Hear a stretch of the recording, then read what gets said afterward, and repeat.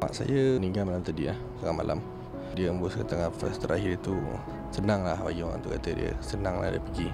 Tak ada apa-apa gangguan. Alhamdulillah sebelum dia meninggal tu dia mengucap apa semua lah. Ada tak pesanan terakhir arwah sebelum dia meninggal dunia?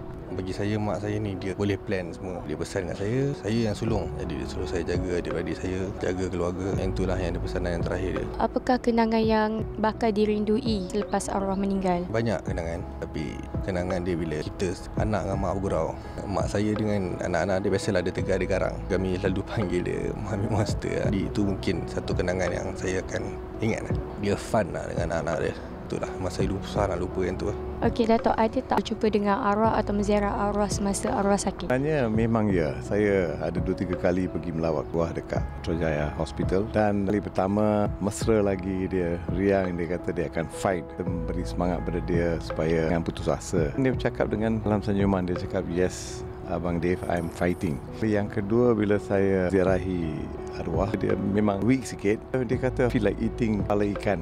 Kata insyaAllah Esok saya bawa kepala ikan. Itulah Sabtu saya bawa kepala ikan peranjat. Eh betul-betul abang bawa. Saya yes.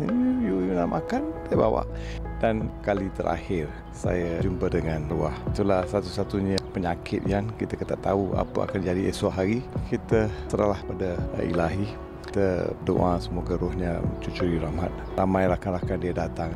Memang selalu berdoa. Ini seorang yang kelakuannya ini baik dan selalu mesra dengan sesiapa pun walaupun tua ataupun muda yang saya kenali suami arwah Tajul memang seorang suami yang betul-betul menjaga dua isteri setiap kali saya pergi berada bersama isterinya.